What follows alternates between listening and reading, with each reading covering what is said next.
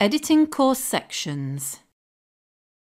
If we turn the editing on in our course from the menu or the button Turn Editing On, we can quickly rename our sections from, for example, Topic 1 to a name that's relevant to us by clicking the pencil icon, typing in a new name and pressing Enter.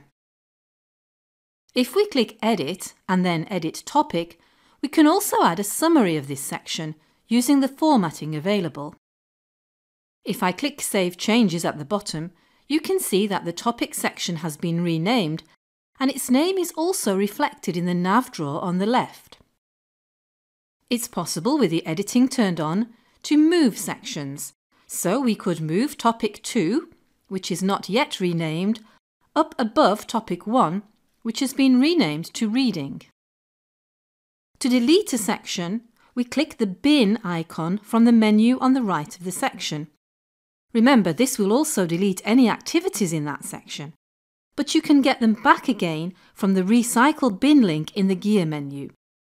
This usually only appears once you've deleted something, depending on your administrator's settings. This course has three sections.